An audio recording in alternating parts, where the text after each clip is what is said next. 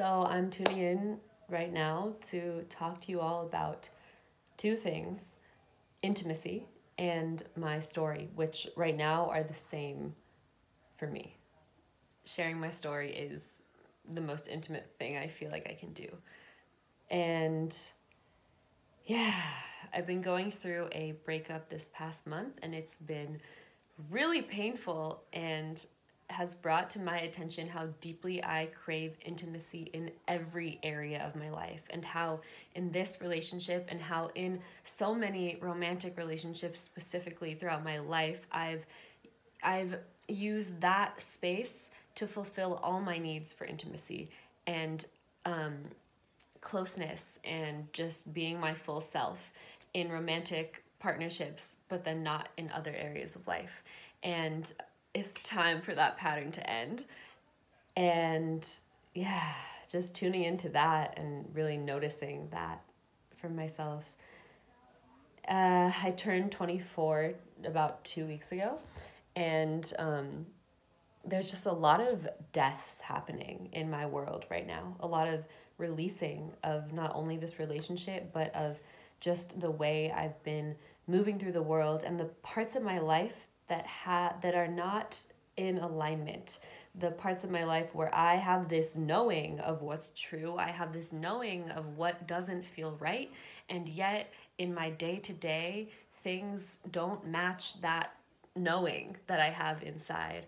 And so I am I'm speaking this out to the world to call myself into that place of alignment, to follow that thread, to lean into that path that I'm weaving for myself. And yeah, to continue following that and to really continue my process of coming out of hiding about what I believe and who I am, and not just coming out of hiding in a way where it's the overall theme of my life, but rather coming out of hiding in the day to day moments when something feels off, um, changing that situation I'm in or opening up my throat chakra and saying this feels off or um, making physical changes in my life and in my world to bring my truth more into this life right now. And um, so that's that's that's what i'm feeling into when it comes to death and my story and how i'm going to share it right now so um, when I was 18, right after high school, I I took a gap year and I went to Peru and Bolivia and I first did a trekking program there. And we trekked through the Andes and the Amazon and stayed with different host families. We got to stay in Nacion Queros in Peru, which is a sovereign nation in Peru of indigenous people and mainly Quechua speaking. And we got to have the opportunity to stay with these families and just so much wisdom came from that time that three months of trekking and learning from my peers my instructors the land the indigenous people learning about my own history as an ancestor of colonizers learning about things i didn't know that had happened in California on the land I was raised on and learning about my privilege, stepping into my role as a privileged person in this current paradigm. Yeah, so a ton of learning and a ton of just um, receiving wisdom and listening, really being humbled, learning how to listen to the rhythms of the earth and beginning to tap into the rhythms of my own body. And so after that experience, I came back to the US and then I went back to Peru again and was on my own this time. I wasn't part of a program and I did a yoga teacher training program in Cusco and then I went and volunteered at this house for children and also lived in the city for a little bit at this place called the Healing House and had a lot of like little excursions throughout that time on my own. Um, and that took my the seeds that were planted during that first trip in Bolivia and Peru to another level of self discovery and depth. And I uh, I sat with my first plant medicine as well in Peru right before leaving San Pedro, a cactus, and it was a really sweet and powerful and gentle experience. I played in the mud for hours and just felt so mm, playful and um, yeah, it was really gentle. And I also at one point felt this like this sense of like something's like knocking at my mind. Like there's some knocking. Like what is this knocking? But it didn't it, I didn't I didn't dive into it then. I have since. And um, yeah I'm just gonna I'm gonna leave that there for now maybe I'll get back to the knocking but so then I came back and I had previously in high school I planned on going to American University in Washington D.C. and in high school I was really into to politics. I was the, the vice captain of the speech and debate team and the vice president of youth and government, this governmental program in California. And I was just really passionate about like intending to solve the world's problems through politics. And um, I, I was super into using my voice. I've always used my voice to speak and to um, push for what I want and to debate and just be heard and sometimes to manipulate. And um, this getting a little tangential with the story itself, but this is all relevant. And so after um, coming back from Peru, I realized that I didn't want to go to American University anymore. It just felt really not in line. Um, and that in itself was a huge sort of falling out with my parents of how could you like like you my parents saying like you lied to us like we invested in this experience abroad and now you don't want to go to this college what and i initially thought i didn't want to go to college at all um, i had met this woman naomi in peru and something that she said really stuck with me is that like college is where you go to lose your soul and i was like attached to that idea but my parents were basically saying, recognize the privilege you have. We're to fund this experience. Like, please go to college. So I was like, okay, I hear you. So I found the least collegey school I could find, Naropa University in Boulder, Colorado. Um, it's a Buddhist inspired school. They practice contemplative education. And I went there for a year and it was super powerful experience so deep and heart opening and painful at times and I, I one of my best friends in the world nicole um, is yeah she still goes there and we met there and i have lots of people that i met during that year who i'm still in touch with. Um, and i got really into working with mushrooms specifically and other psychedelics and in a way that at times was intentional but in times was not and um, was abusive to the medicine and also to my own psyche. And I felt extremely ungrounded and just didn't have a framework for kind of bridging the worlds that I had um, been a part of in high school and then in this college experience, which was just completely on the other end, and then coming back to California with my family and sort of like putting on a mask and being like, okay, like this is who I am. So, yeah, um, super ungrounding. And that summer, when I came back home after Naropa, I experienced some deep, deep depression and ended up going on depression meds briefly. And then shortly after, got off of them because they didn't help at all and made it quite worse, in fact. Um, but I also decided that I didn't want to go back to Naropa.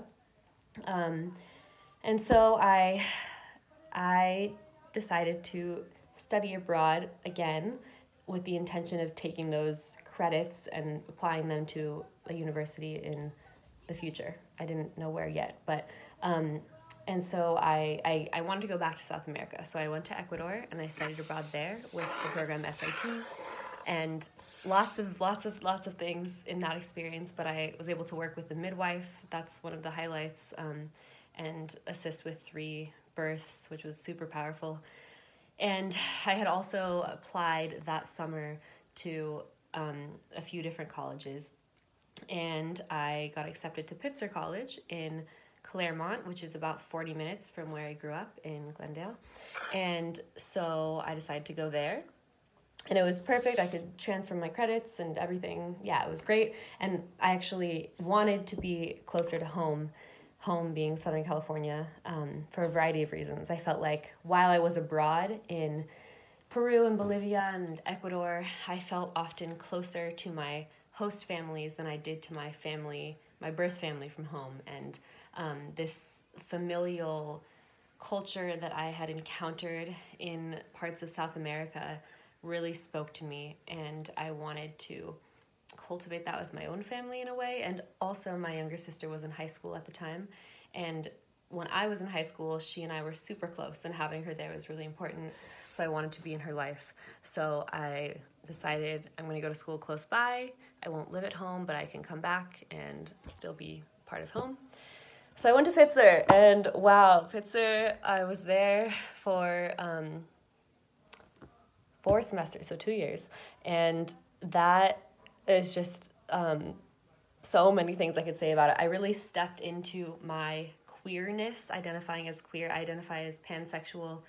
My sexuality is fluid. Um, and I feel like I really stepped into that part of myself at Pitzer. And also, it did feel in a way like it combined, being there combined parts of myself with the aspect of me that is really into social justice and um, environmental justice, food justice, and fighting for a planet that looks different, a planet where we're not divided based on our race, where we're not divided based on our socioeconomic status or our gender or the way we love and who we love and how we love. And that fire was combined with the more flowy aspects of me that are very. Um, into the mystery and um, like to just kind of be in that place of unknowing and like to be outside and just frolic in the trees and play in the forest. And so at that moment in time, it did feel like a good choice to be there. And then I graduated early, a semester early, and went to North Carolina to this folk school. Um, a folk school being um, a place where they offer classes in blacksmithing and mandolin and printmaking and pottery and woodworking and wood turning and all these different crafts. Um, and so I gardened there in exchange for classes for uh, like a few months. Um, and I drove cross country to get there. Oh, but before I went there, I actually drove up to Oregon and went to visit this woman named Beth Root who lives on lesbian women's land there's this movement back in the 60s or 70s, I'm not sure the date, but the lesbian separatist movement and a lot of um, lesbians created homesteads that were off the grid and completely self sustaining. And so she is now 79, I believe. Yeah, 79. Just had her birthday, I think, back in November, October. And um, so I stayed with her and I lived in her yurt. She has a house, a round house, built by a bunch of women years ago, and um, I stayed in her yurt and um, yeah, just kind of helped out where I could and um, really like did some internal diving, some deep diving into my psyche and um, uh, my art, my writing, my guitar. And then I drove from there to North Carolina in the winter and um, it was a journey and such that whole physical journey of going to North Carolina and then going back later in April was just wow like so so much like oh my god everything in my external world mirrored the internal world. And I felt um, just really yeah like like learning how to love myself more deeply and to physically care for myself too and you know protect myself against the elements, but also like lean into the unknown. And yeah, uh, and just so many things that came up, like patterning around love and abandonment, and um, a lot of releasing there of that abandonment wound. And so then I came back to my home in Southern California, where I am currently still residing, my family's house. And um, uh, my friends from Pitzer, we were all graduating. Technically, the ceremony was in May. And so I basically went there every weekend, um, or more than a weekend, and stayed with my friends at the house I had lived at the semester prior, and then I'd be at my family's house every week, and so I was kind of going back and forth. Um, I wasn't working actively, just kind of doing my creative things and brewing things in my cauldron. And the second weekend I was back, I just connected with this person who I'd been friends with for a while, and we fell in love really quickly and had been dating for this past year. And that's the relationship that just ended recently. And so I'm sharing this story because it just feels it feels very relevant and I want all of me to be seen and known and witnessed. And as I said, not only in this overarching way of this is who I am, but I am making the commitment to myself to show up in each moment of my life as the Anna that I know I am. And um, I am physically sick of lying in the moment to moment, like physically sick of like smiling when I don't want to smile or just ugh, so many I mean so many things that I I want to be able to go outside and hug a tree and not be asked if I'm okay. Or I want to be able to lay face down in the earth and cry and not have people be afraid of me or just be able to let my voice flow out into the world whether it's through song or through a scream because that's the emotions that I need to release and not have not have people think there's something wrong with me. And i don't want this just for me. I want this for everyone. I want this this is my vision. This is like the vision for the world a world where where we are raised knowing that we are wise intuitive people of this earth and we can listen to the soil. We can listen to the way that nature moves and remember that we are part of nature and that we don't have to ever smile when our gut is telling us to scream and that it is safe. There this there's this underlying like well of safety inside of each of us that is reflected in our families our friends and in the collective that we know whatever we are feeling and doing and saying, we are held and supported because we are. We already are. And so there's my vision is that we remember this and that we act upon it and that we open up our hearts and open up our circles in a real way where we can lean into our darkness and share our darkness without fear that someone will um, interrupt our process or judge or try to fix, try to fix the darkness.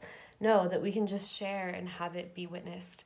And um, yeah, I don't know exactly how this vision will come to be, but I know it starts in my own life with being candid about my story and day to day increasing intimacy with everything I do, with everything I touch, with the way I walk through the world, the way I physically walk on the ground, the way I play instruments, the way I hold my phone, the way I eat, having that sense of intimacy with my food, the way I brush my hair. And I am so grateful to be in this process of death of this relationship as as excruciatingly painful as it has been and may be still who knows um, because it's reminding me what I really crave is not just intimacy with one person, as beautiful as that is, and as that is something I do want in my life.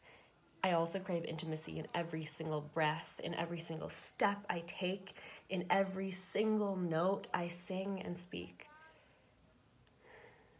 And it's my vision that we can all have the intimacy that we crave in every moment. So, thank you for listening, for witnessing my story. And please comment, share, subscribe, share anything you like about what intimacy means to you and your own story that you want to bring forward. Hmm. Blessings on your journey during this time.